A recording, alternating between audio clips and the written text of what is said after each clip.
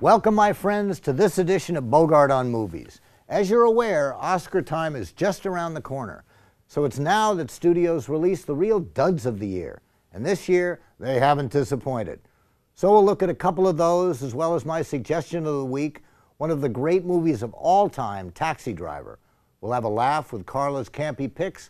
I'll answer some emails, and I'll look in depth at one of my father's greatest films, the classic African Queen. And I'll have an inside story, too. But, dear fans, I have endured the pain just so you don't have to. First, it's Arnold Schwarzenegger. Yep, he's back as an old border town sheriff trying to head off an escaped Mexican drug lord in Last Stand. A prisoner is cartel boss Gabriel Cortez. Need to transport him through Vegas to a maximum security prison. The cartel is here.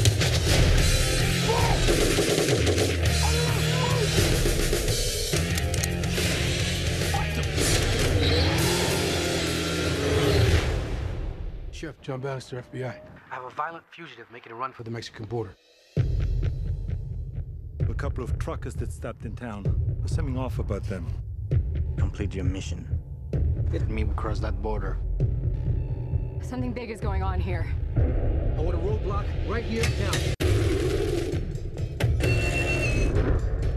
Several officers down. Now, I actually like The Governor. Not bad, huh? He's a great American story. He's not really an actor, but he used to be one of the biggest action stars ever. Now he's kind of past his time. But the movie, not so much. It's a real shoot 'em up with lots of guns, lots of killing, and unnecessarily graphic violence all over the place. Not a whole lot of suspense here. Still, if that's what you like, you might like this. What kind of car is this? Zero one, faster than any chopper. Owen's here. What can I do for you? Some smartass is flying a jet plane around out here with no lights on. Boom, boom, boom, boom. I'm not gonna let that guy come through our town without a fight. I love the way you walk, and I love the way you talk. How are we gonna go up against all that firepower? Bang, bang, bang, bang. I got an idea. He's my little Nazi killer. You have more ammo? How, how, how. You never know.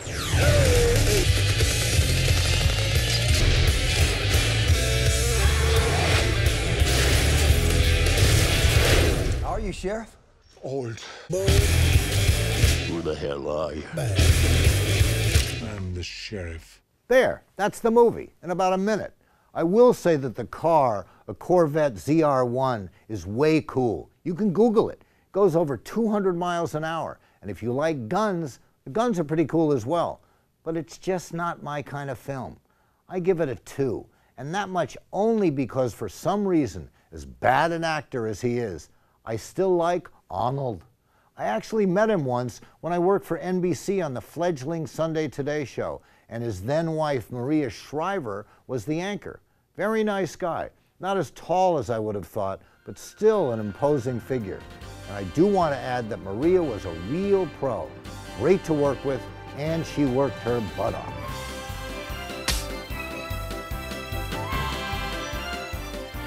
Now I turn to a movie that still has me shaking my head. It's called Movie 43, and it's centered around a screenwriter played by Dennis Quaid who's rebuffed trying to sell his outrageous script to a film studio. So he pulls a gun on the producer to get him to agree to buy the script. Come on, y'all. Games are about to start. Coach, we scared. There's 10,000 people out there that think that we ain't good enough. Win or lose, I am so proud of y'all. You're gonna win. What game are we playing? Basketball, coach. What color is this kid? White. Y'all gonna kill those Caucasians. But look at the fundamentals. the fundamentals. fundamentals, you're black, they're white. This ain't hockey. Truth or dare? dare? See that blind kid over there? I dare you to Blow out his candles before he gets a chance to. They homeschool their son. It's very important to us that Kevin has a normal and complete high school experience. You Dropped your books.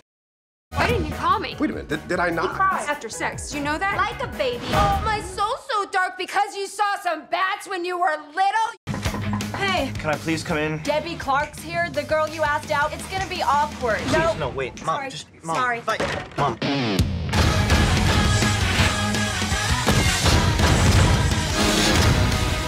The movie's actually 10 or 11 vignettes, I don't know how many, and it stars, as you saw, Kate Winslet, Hugh Jackman, Greg Kinnear, Emma Stone, Naomi Watts, Liev Schreiber, Richard Gere, Kate Bosworth, Uma Thurman, Halle Berry, and more. How these actors said yes to being in this drivel, it's a mystery to me, but the movie is just awful. Let me put it as succinctly as I can. It's disgusting. It's gross. It's stupid. It's infantile. It has bad taste throughout. It insults everyone. And aside from a very few laughs, it isn't funny. Other than that, it's great. But seriously, don't waste your money. Drum roll, please. For the first time ever, I give this movie a big, fat zero.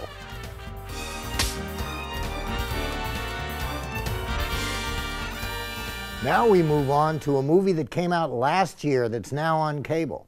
It's the sequel to the Liam Neeson vehicle, Taken, and it's called, ooh, how did they come up with this one? Taken 2. In the first Taken, Neeson's estranged daughter got kidnapped and Liam saved her. In this one, Neeson and his now ex wife get kidnapped on vacation, and the now no longer estranged daughter has to save them. He's here.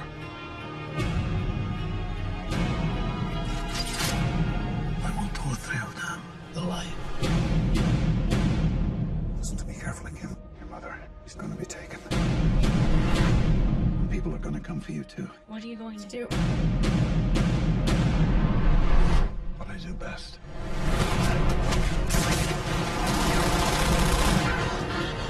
What do you see?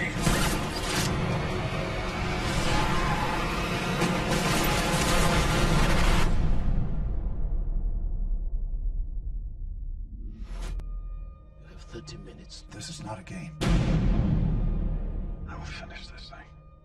Just have to die.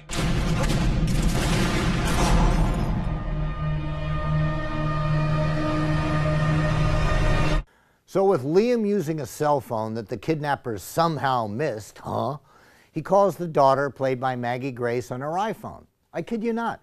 Somehow, using his CIA brilliance, she saves him, but then they have to find mom. Listen to me carefully, Kim. They have taken my mother and me. This is not a game. Tell me what to do. I can do it. Take the case. Take the map. You'll see a scale on the top in kilometers. Do you see it? Yeah, I, I see it. Draw a circle with a hotel in the center of it. Draw another circle with the market in the center. Now take one of those little cans, the ones with the pins on the top. I want you to go to the balcony with a grenade. Pull the pin out of it, count to three so I can hear it. Then toss it as far as you can. Keep the phone on so I can hear the explosion. One, two, three.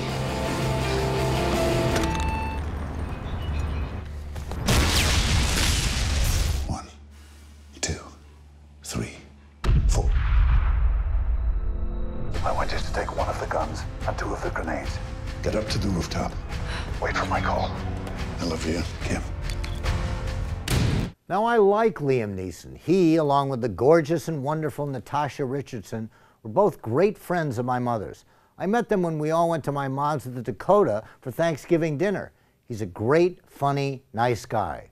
But the movie, it just is much different from the first. He still kicks everyone's butt, outsmarts everyone, outruns everyone, and outdrives everyone, even at age 60. But parts of it are downright silly, and the movie is full of stereotypes. I guess this is supposed to be a series, but there's no one left to be taken who hasn't been taken before. So I don't see a Taken 3, thankfully. I give it a generous one and a half.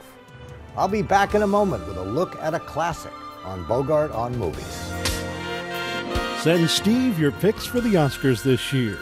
Email Steve Bogart who you think will win the Oscar in these categories Best Actor, Best Actress, Best Director, Best Supporting Actor, Best Supporting Actress, Best Movie of the Year. Steve will give you his choices on his Oscar special Friday, February 22nd at 5:30 p.m., just 2 days before the Oscars are given out. Send your picks to Steve Bogart at WXEL.org. If you pick them correctly, you may be a guest on a future Bogart on Movies. In case there are a number of winners, one will be selected at random to appear on the program. Thank you and good luck. What if television took risks? What if it gave pioneers the chance to create something completely new and helped everyone see the world in a whole new way? For over 40 years, PBS stations have pushed the boundaries of media by asking questions no one else asks. What if media could improve the way your children learn? What if great art flowed freely into every living room? It's the questions we ask that help open new worlds and new possibilities for every American.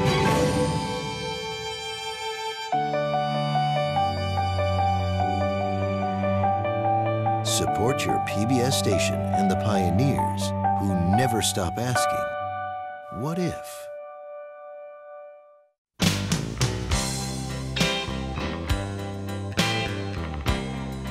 For a look back at a classic film this week, let's take a trip to Africa and a ride on the African Queen.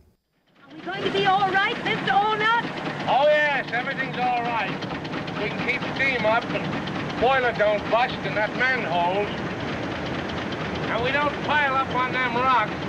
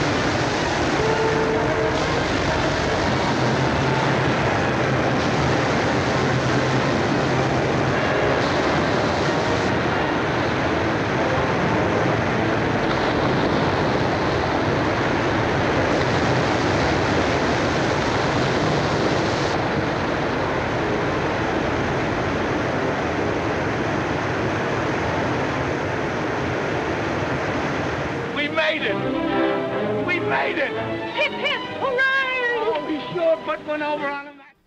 I know I'm suggesting one of my own father's movies, but then, as my executive producer pointed out, how can I not? And he was right. We all know it co stars Kate Hepburn, who, by the way, is my brother Sam's godmother, and it was directed by John Huston.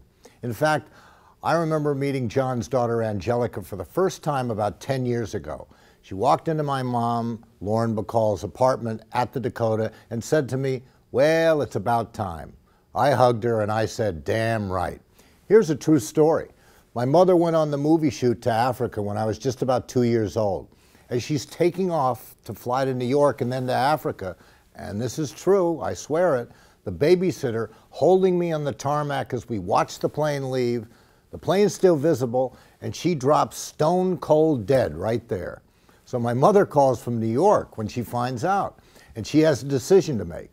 Does she go home and take care of Steve? That would be me. Or does she go to Africa? My grandmother was on the next plane to California anyway. Well, she decided to go to Africa with Huston, Hepburn, and Bogart for the adventure of a lifetime.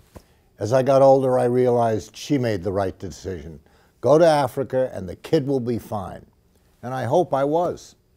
This is a movie for the whole family, unless, of course, you're scared of leeches. What I said about having to get out and carry this old boat was meant to be a joke. It don't look like a joke now. Well,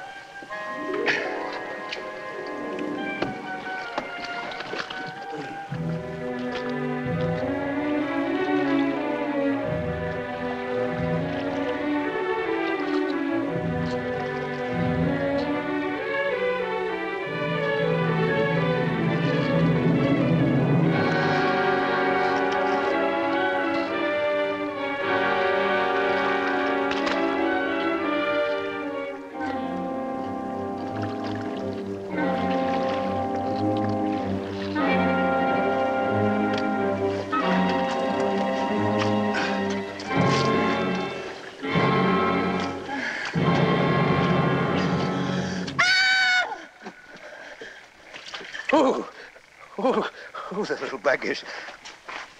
Ooh. Ooh, ooh, pull them off me. Oh, no, no, no, no, the head stay in.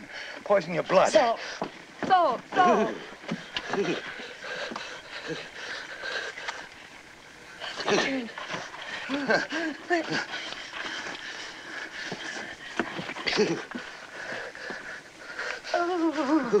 Legs. There's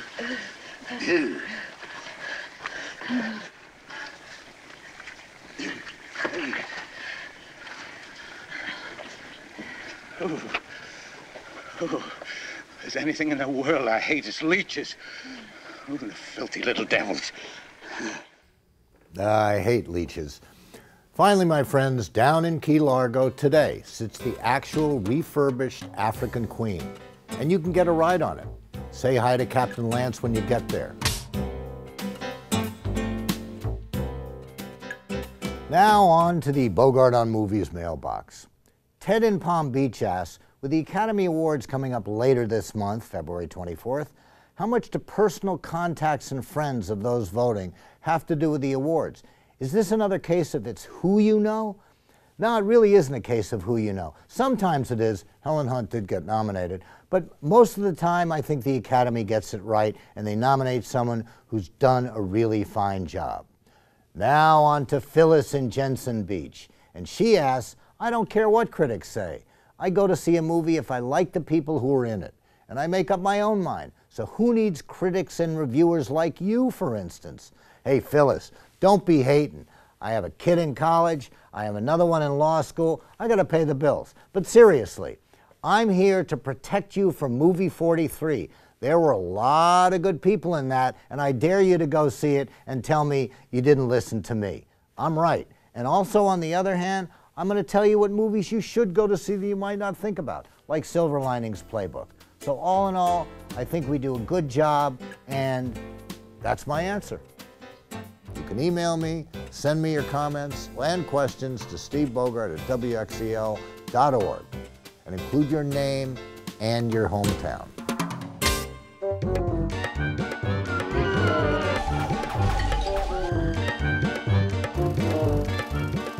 And in this week's Carla's Campy Picks, we find the Screaming Skull and Madman of Mandoras, also known as They Saved Hitler's Brain.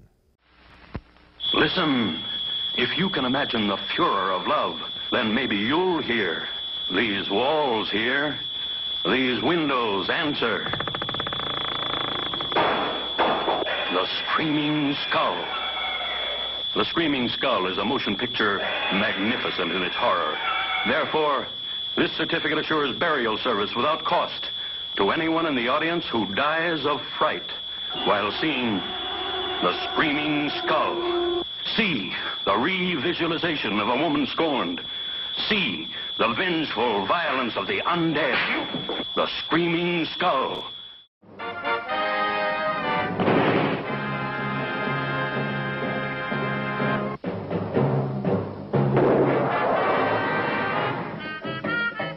In the diabolical minds of the madmen of Mandoras was created the most incredible plot ever conceived to conquer the world. Did you bring us here, really? In a matter of hours, we will begin the conquest of the world.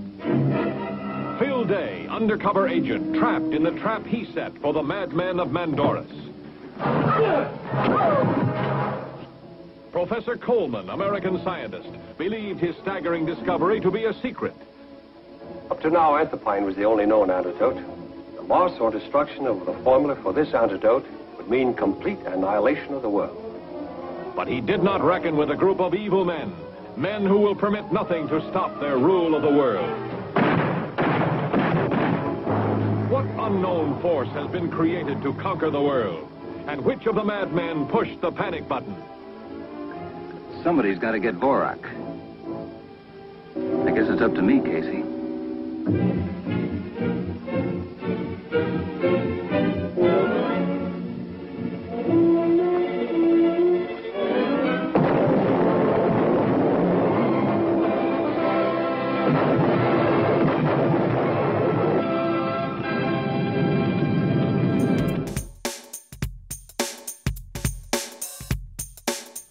My pick this week, let's go back to 1976, right after the Vietnam War, to the seedy, psychopathic Robert De Niro and Coppertone girl turned teenage hooker Jodie Foster in Martin Scorsese's Taxi Driver. This city here is like an open sewer, you know? It's full of filth and scum. I think I know what you mean, Travis. But it's not going to be easy. How do you guys get to be a Secret Service man? What? I was just curious because I thought maybe I'd make a good one. Hey, what kind of guns do you guys carry? 38s, 45s, 357 Magnums, something bigger maybe? Hi. I'd like to volunteer. Why? Why? Because I think that you are the most beautiful woman I've ever seen. The taxi driver is looking for a target. Getting ready. Getting organized. Preparing himself for the only moment in his life that will ever mean anything. How much for everything? 350 for the Magnum, 250 for the 38, one and a quarter for the 25, 150 for the 380. That taxi driver's been staring at us. You talking to me? You talking to me? I don't know who's weirder, you or me. You talking to me? Well, then who the hell else are you talking? Talking to me? Well, I'm the only one here. I don't believe I've ever met anyone quite like you. Oh, yeah? You will never see a more chilling performance than this. Robert De Niro and Martin Scorsese's Taxi Driver. That was Cybill Shepherd, in case you're wondering. The movie was written by Paul Schrader and co starred the vastly underrated Harvey Keitel and, as I said, Cybill Shepherd, Albert Brooks, and Peter Boyle. To paraphrase film critic Roger Ebert, who called it one of the greatest films he'd ever seen, Taxi Driver is a hell, from the opening shot to the climactic killing scene. This was De Niro at his very best. And Jodie Foster? She was only 13 years old when she shot the movie. 13. Can anyone say talent? So until next week, you talking to me? You talking to me? Send Steve your picks for the Oscars this year. Email Steve Bogart who you think will win the Oscar in these categories Best Actor, Best Actress, Best Director, Best Supporting Actor, Best Supporting Actress, Best Movie of the Year. Steve will give you his choices on his Oscar special Friday, February 22nd at 5:30 p.m., just 2 days before the Oscars are given out. Send your picks to Steve Bogart at WXEL.org. If you pick them correctly, you may be a guest on a future Bogart on Movies. In case there are a number of winners, one will be selected at random to appear on the program. Thank you and good luck.